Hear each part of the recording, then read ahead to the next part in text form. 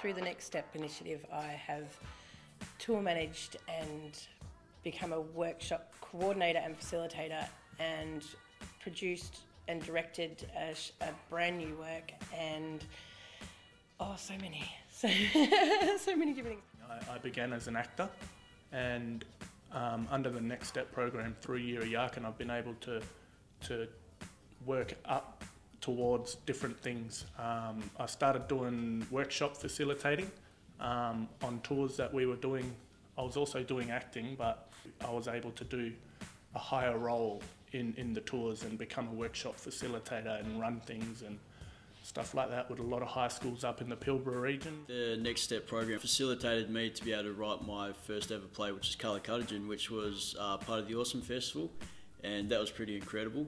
But also, uh, we've had programs like Culture 2.0 where we've travelled around to different regional schools. We've uh, uh, workshopped through a form of forum theatre uh, ways to find responses that really helped inspire our writing. I've learned so much from that. Uh, it's been incredible. It's really helped me grow as a writer as well. So learned some techniques, uh, filled up my toolbox of writing.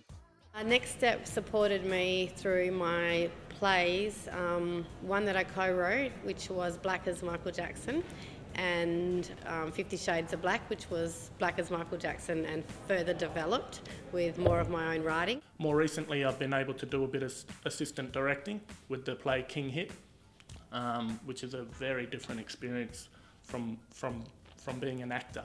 It's been very interesting. So I came from a, a directing kind of background.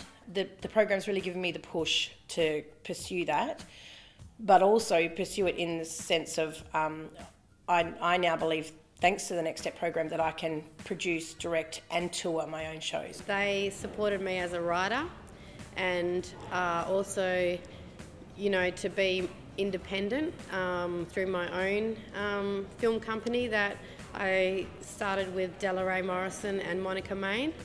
Um, so yeah, without Yirra Yaakin's support um, and the Next Step program, that play, those plays would never have happened.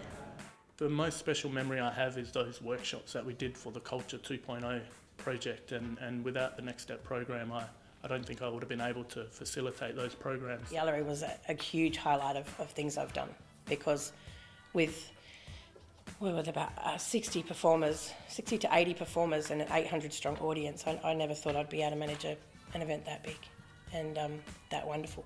I was producer and director of Yirra Yarns last year, and that, that was a learning curve, definitely. But I was fully supported by Yirra Yaakin, and so th this year having to, not having to, but choosing to produce and direct my own show without huge support from other people was an undertaking and a half. I think, yeah, um, I've really enjoyed the process, and I, I felt prepared for it. I felt I was ready for it and it seems to have gone pretty well. So we mostly sold out at Fringe World for um, Fifty Shades of Black, and I was blessed to win um, WA Emerging Artist. So that was really good to put on my resume. Through Fringe World, somebody had come and seen the show from Broome, and we got a season in Broome. So we got to tour the show up there. That was amazing.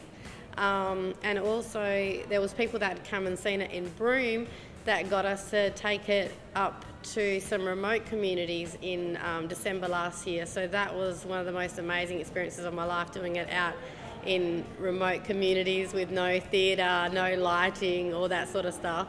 And we took um, Fifty Shades of Black to Melbourne as well. So, uh, you know, from that initial support, we managed to tour the show to quite a few places. Uh, probably one of the best experiences I've had in my life so far was the first time that I saw Colour Cudgegin on stage, even when it was in the rehearsal period, because that was something that, though the dreaming story was obviously a dreaming story, it was from the Noongar people, but writing it on paper in the way that I had it set out, and then seeing it performed on stage, where you see these characters, you see these lines, you see the music, it's just brought to life. It's a it's an experience that you can't really imagine. It, it, it's like it validates the insaneness inside your mind. Just changing the way these these students, these high school kids, um, look at each other and, and, the way they talk to each other.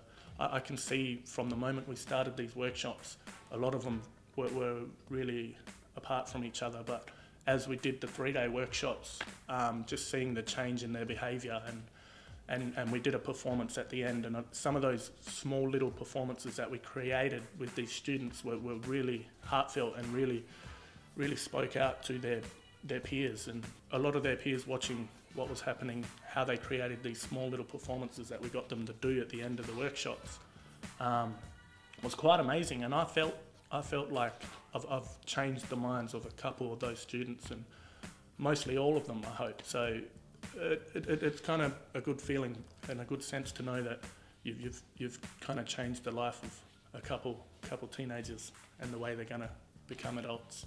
And I'm definitely uh, enthusiastic about writing now. I think I'm a lot more confident with my stories and what I've got to tell. Um, and I'm actually working on another play at the moment that um, I've started writing. So, uh, yeah, it's set the ball in motion for me, I think, as a playwright, which I even feel weird saying that. I feel, especially when it comes to Aboriginal theatre, Aboriginal, just everything we do, we're storytellers. We're natural storytellers, and we've all got a story to tell. If it's up there, being able to write is expressing that story into the wide open space. And I think for me, one of the best parts of my life is being able to take something that I've imagined in my head and to just bring it out into physical existence and to have other people see that. And if they appreciate it, it's incredible. If they don't, that's okay. But it's as long as they still learn from it or they still experience something. It's that kind of journey. I like taking people on journeys because it it's like you got society and then if you add a little bit of dreaming into that then it doesn't become so mundane and that's why I love writing. I'd, I'd love to one day direct my own show and become a director um, and I hope that um, through through more process through the next step program I'm able to do that one day. I just want to be respected as someone in the industry that you know, tells stories that need to be told and brings stories, you know, to life that not just entertain but make a difference. I want to pursue producing, um, and of course, I want to pursue directing because it's where I've always wanted to go. But I would love, I would really, my dream is to make it into other countries and other Indigenous communities around the world and see what they're doing with their arts and um, and how we can learn from each other. Yirra is kind of like a parent to me. They're supporting me and they're helping me grow as an artist um, in so many ways. For someone like me, um, and, and there's so many of us, we have so many different stories, and to give me that confidence boost to go, hey, you can be a writer and we're going to support you and we believe in you, uh, that's, that's just something that, you know, can't be bought. And I think time will tell just how much that that support is going to um, show people out there because I don't intend to stop working and developing my craft and I feel like I have all the support in the world so I really thank Yirra Yaakin from the bottom of my heart for that.